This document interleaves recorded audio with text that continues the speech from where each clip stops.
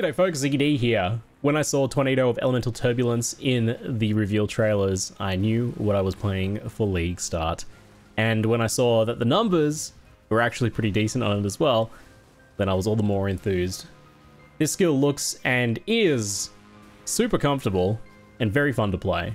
It allows you to summon three tornadoes of random elements, fire, cold, or lightning, each time you cast it, and those can stack on a single target. So they each hit about four times per second, which means 12 hits per second when they're all stacked up, which is not a bad number-wise, especially when it's a skill that has just about every gem tag in the game, so you can scale levels with it very easily, and its base physical damage, which means you can scale it in many other different ways, like adding fire damage with Herald of Ash, or using Hatred, using added chaos damage scaling. Some people are even going poison on it.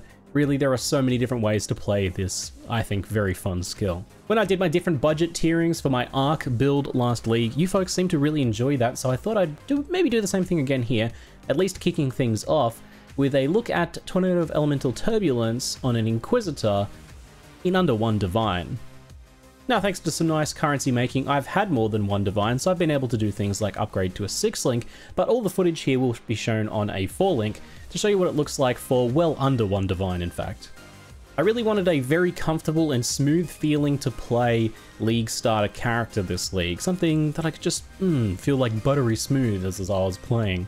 And when I think of that, I think of builds with really high recovery. So for me, that's things like Trickster, it can be Pathfinder, and it can also be things like Inquisitor, one of my top favorites in that regard. The ability to get and stack a ton of regen that applies to both your health and energy shield makes for very, very comfortable gameplay. Even more comfortable than that is never having to worry about things like mana, blood magic. Like I was saying, there's so many different ways to scale Tornado, and so many different characters and ascendancies you could play with this build but I opted for Inquisitor because I knew that was going to have decent damage scaling, a very comfortable playstyle, and give me lots of different options to uh, different directions to take the skill in long term. And as a backup plan, always, if you're playing an Inquisitor, it's very easy to pivot to almost any other build. Playstyle wise, things are very simple. You simply run along and drop your tornadoes in front of you, and they go off and do all the work. The Tornado AI is very aggressive and they will hunt down mobs until they exist no longer, including around corners and through doorways and things like that. The only thing they can't do is go down a ledge. If there's any real downside to the skill, it's probably that. But other minor things to be aware of is that this is a skill that cannot scale with cast speed. It has a limit of 3 tornadoes. Now 12 hits per second is nothing to sneeze at, but it means that eventually you will hit a ceiling where you might start to think, it'd be sure nice if I could scale with cast speed to get things even higher. So I don't think that's too big a deal. Personally, I think you're reaching a very good point without that cast speed scaling here, especially as the numbers and scalability of the gem in other areas is so damn good. You'll notice that I only have fire tornadoes. Normally it can spawn lightning and cold ones as well, and it does so randomly.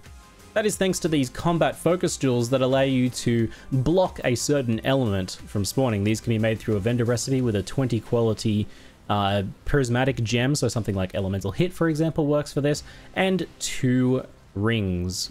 So for example, this one would require a ruby and a sapphire ring in order to make the Viridian combat focus to block lightning.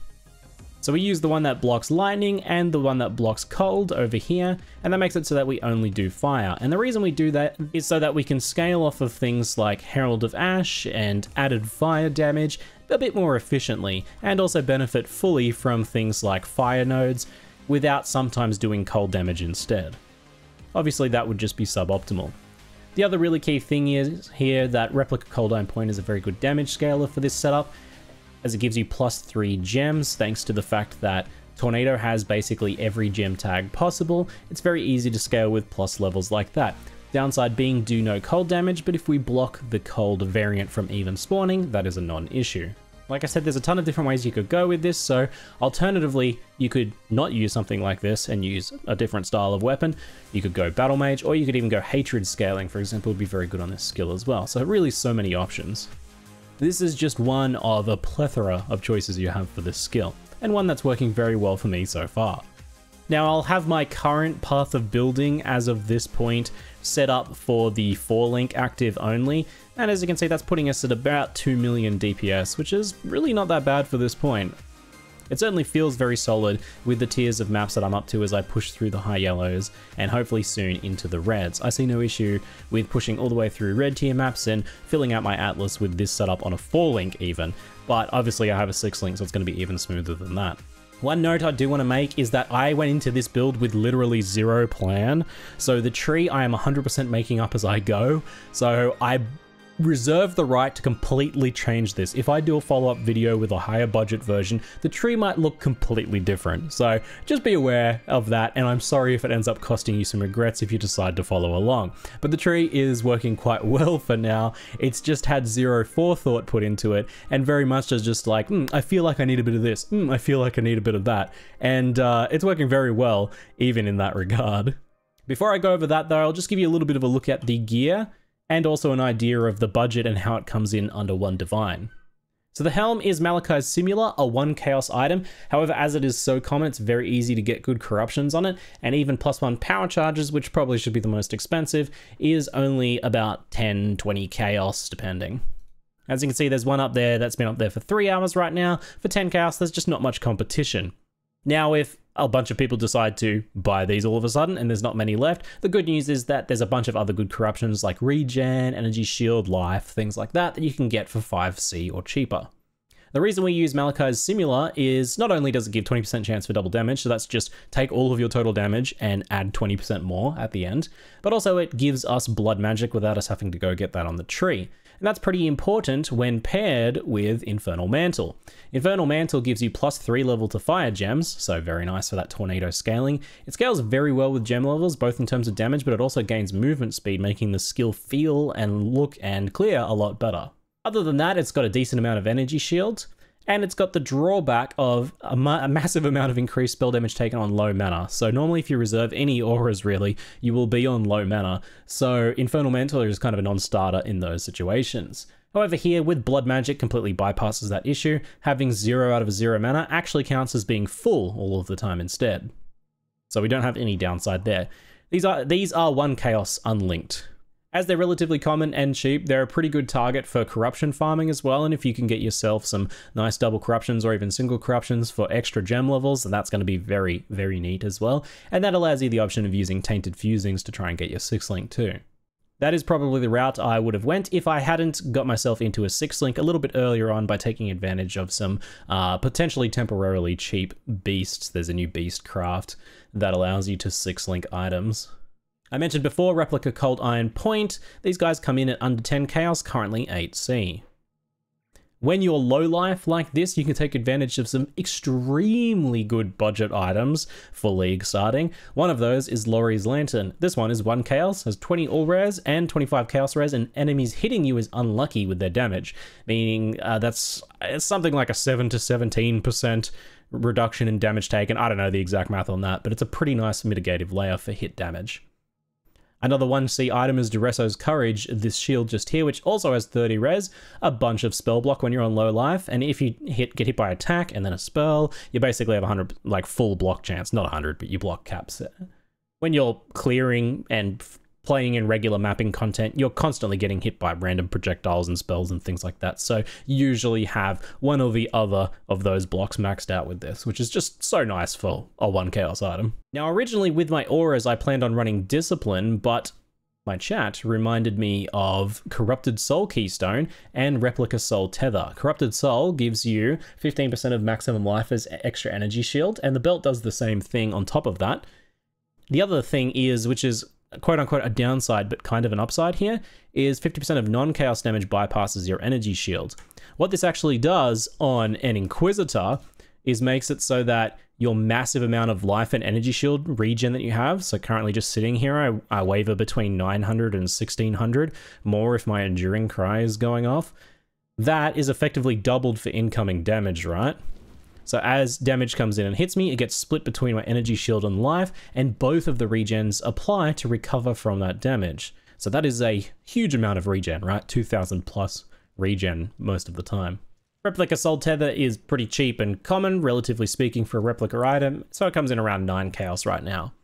The amulet was simply life and chaos with a little bit of resistances. So quite often if you search for a small amount of chaos, like 18 or 20 chaos, you'll come up with unveiled amulets like this, which are generally pretty cheap. So that cost me 5 chaos, plus a 3 chaos craft to add a little bit more to it. As we are kind of this hybrid low life setup, we do want to make sure that we get a decent chunk of chaos resistance. I so far haven't died to chaos damage or really even come close more than maybe once when I had really low chaos, like in the negatives. But as you get more and more chaos, it actually feels very comfortable. The reason for that is, is a lot of chaos damage is damage over time, and we have a ton of regen, so that stuff is not much of a concern. And for the hit damage, we have Petrified Blood, which staggers the incoming damage on our life. So while 2k life unreserved here might look a little iffy, it is really much more than it seems. But that said, make sure you get some chaos resistance where you can. I'm currently moving into high yellows and sitting at 30% chaos res, which has been very comfortable so far. Other than that, I just have generic life resist gloves here. I'll just slap, say, 2 chaos for those things. There we go, if I price check, 1 to 2 chaos. And the ring here is uh, actually a pretty cheap one to get as well. This is just effectively life and resist with this chance to gain a frenzy charge on kill unveiled mod, which is super common. So these guys end up being very cheap to buy. Here's a search which I can include in the description below for rings like this with uh, the Frenzy Charge, which is quite nice because it gives you damage scaling, but also a little bit of speed. But now we don't really benefit DPS-wise from cast speed, but it still makes the build feel a lot better to play. A very small downside of the skill is that the base cast time on it is a little bit long, so having a little bit of speed, like running a Silver Flask instead of a Quicksilver or something, for example, just makes it feel a little bit nicer to play. Makes it a little quicker to drop those down while running without it interrupting you too much the extra frenzy charge and the frenzy charges you generate while killing uh, make that feel a bit nicer. Now the boots are a slot where I spent up a bit because I wanted to squeeze out some more chaos rares and still get a decent little chunk of movement speed and life. So those alone are only about 5 chaos. If I come here and disable this life regeneration rate mod, which is a little bit rarer, you'll see that there's actually a pair there with 25 movement speed. So if you're a little bit, have a little bit of wiggle room there, they're a fair bit cheaper. But even if you go up to 30% movement speed, they don't get too much more expensive than that anyway. There's a 30 pair for 5C, for example. But I did have a little bit of extra budget in that Divine to spend, so I dropped it on some life regeneration rate. This modifier actually scales your regen by quite a lot because we have so much base regen. This is a more multiplier for that, so this is 17% more total life and energy shield regen, so it's a really good mod. Now, as you can see, sometimes you can actually pick up some real bargains here, so there's actually some for 5 and 10C now that I just searched for this. But nonetheless, just to ensure against the fact that that's a kind of rarer modifier combo there. I put them in at 2040C and estimated 40 if you look for 30 move speed. So I really went for the high estimate here. If you do pick up some for cheaper like we just saw on the trade site, then you can get this way down. I'll show you that regen difference there. So we are at 537 without that modifier, and with that modifier, it jumps up to 658 there. That's with vitality off though, so it's more because it's actually scaling the vitality. You can see the 900 there with the vitality on. At the level 19 vitality, you'll get even better than that. The combat focus jewels are just about a couple chaos each because you need to buy 20 quality gems. You can search elemental hit, but you can also do any other prismatic gem. And the rings are just like a couple alks from the vendors. The gem itself cost me 2 chaos, they're probably cheaper than that right now. I have just qualityed it from the quality from Labyrinths as I've been running them, as well as a few GCPs here and there. So all up with high estimates on some of these items, that's 95 Chaos, with Divines currently at 110C, well under budget, which gives you a few extra Chaos to play around to full link your gear, grab some basic flasks. I'm actually just using ones I found while leveling, including still like just a little hallowed flask here with no quality. I've had pretty much just got that for corrupting blood removal. I barely ever actually need a flask on this build all in all, the performance to price ratio here is really good. I don't think this is going to be as cracked as Arc was for single target. Like, that skill was insane, but I have been deleting bosses so far. This does at least remind me a little bit of Arc in the sense that it's got that real good price to performance ratio going on here. I will say, though, compared to that build, this is much simpler to play. That one needed some skills developed with Hydrosphere placement, Obviously, that skill has been deleted from the game, basically, since they made it so that the surging doesn't uh, split to the same target anymore. But this one is much smoother to play with just the running around and dropping the tornadoes. You'll probably have noticed I'm running Void Sphere of Rending. It's not something I really use too much. I've just got it linked to Culling Strike, and it kind of sucks in mobs a little bit, so you can have that stack your tornadoes a bit more easily, but it's not really too big a thing. It does have base physical damage, so you can scale that. If you're doing Hatred scaling or something like that, it would actually work pretty well, I think. But you can also just as easily link Culling Strike to like Frost Blink or something, for example, instead. With automation for Enduring Cry using the new Call to Arms gem, you can have that auto cast, and basically just make it so that Arcanist Brand does Wave of Conviction and Flammability for you. Then basically you have a two button build, right? Like, like two buttons total. So you just run around casting tornadoes and blinking, and then only really for bosses do you ever need to do Arcanist Brand after you've got three tornadoes. Your priority is always to get three tornadoes down, let them go, and then cast your Arcanist Brand, and then go back to refreshing your tornadoes and moving around. Very comfy playstyle. They last about four seconds, so there's pretty much just enough time to cast those drop your brand, maneuver, and then cast them again after a breath. Definitely in love with this build so far. So I thought I'd give you an early snapshot at a very cheap version of it and just how well it's going on that budget. Just very quickly, directionality for the tree. Come through here, grab these things, come up and grab Elemental Overload initially. You'll drop that once you get like the crit nodes from Inquisitor, basically. But until then, that just gives you a very nice source of damage. Another really key one is the Mastery here. 100% increased damage with hits against ignited enemies. Because we inherently just get some ignite chance from here and tornado hits so often, enemies will always be ignited and you just get that 100% damage. It's ridiculously efficient. And that combined with elemental overload basically deleted bosses and basically everything through the campaign. Very comfortable. I couldn't even tell that the league mechanic was making the game harder because like it barely felt like it with that much damage. For leveling, I use the standard package of Magma Orb, Flame Wall, Holy Flame Totem. But if you hate Magma Orb, feel free to use any other skills. Freeze Pulse would work just fine. At level 12, I think about Merveil, you can also swap into Blazing Salvo, which is a very chunky skill that's very satisfying. I ran that with Flame Wall, basically, until level 32 when I purchased and equipped a Tornado of Turbulence, and then cruised from then on. You can swap into Replica Cold Iron Point, Malachai's Simula, and Infernal Mantle pretty early. I think Infernal Mantle's requirement is probably the highest of those, around like level 60. So around then, you can swap into that combo and get that going and pick up a Lori's Lantern and Duresso's Courage and all that um, pretty early on and swap over that right away. So don't feel like you have to wait to do the like low life setup. It works right from the get-go. The other thing you want to make sure that you have is the life reservation efficiency of skills here.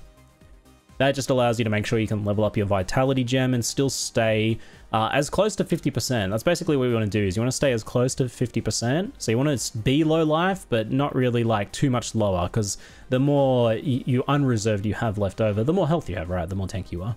So with this setup right now, I'm at 46% unreserved life. So if you could get that to 49, then sweet, but it's not really a big deal. Surge of Vigor and Recovery Mastery here give a ton of extra regens. That's very comfy. That's the one. That's what makes it fluctuate and gives me a ton of extra regen. I've also taken the recoup nodes from over here, but I'm undetermined on how much this is necessary with the amount of regen that we have. Recoup is very nice paired with Petrified Blood, but it might not really be necessary. Don't forget to pick up Pain Attunement when you do go low life. Like I said, the tree is very much winging it, so I reserve the right to completely change it to something more effective in the future for later variants of the build. But for now, this has worked very, very well. Anyway, folks, I think that just about covers it. If you have any questions about the build, or maybe you're playing things in a different way and have discovered some cool item interactions or combos or scaling methods for it, or maybe have some ideas for the tree, let me know in the comments. That's it for now though, I'm Ziggy D, and thanks for watching.